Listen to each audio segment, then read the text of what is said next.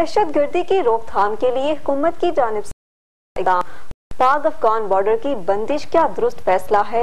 आइए जानते हैं मुख्त शहरों की आवाम इस बारे में क्या कहती है।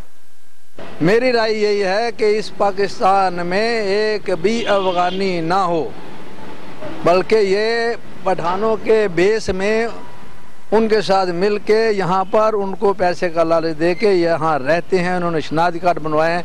सब कुछ चेकिंग होनी चाहिए, मज़बूत तरीके से, सख्त तरीके से चेकिंग हो, इनको जो है अपने मुल्क में भेजना चाहिए और बॉर्डर बिल्कुल बंद होना चाहिए इनके लिए। पाकिस्तान में दहशत गर्दी ये दोनों मुल्क मिलकर आपस में प्लान कर रहे हैं और दहशत गर्दी जो पाकिस्तान में करवा रहा है इंडिया और अफ़गानिस्तान आपस में मिले हुए हैं, ये बॉर्डर जो है इसको हरगिज़ नहीं खोला जाना चाहिए, बल्कि इसको बंद रहना चाहिए और इसकी वजह से काफ़ी जो है ना फ़र्क आएगा, जो दहशत गर्दी नहीं होगी।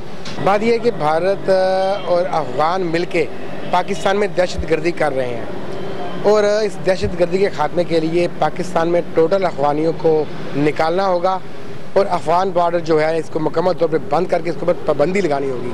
तभी हमारे मुल्क से दहशत गर्दी का खात्मा मुमकिन हो सकता है।